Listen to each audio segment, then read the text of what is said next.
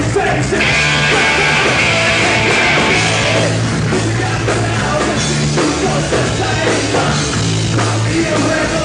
not worry.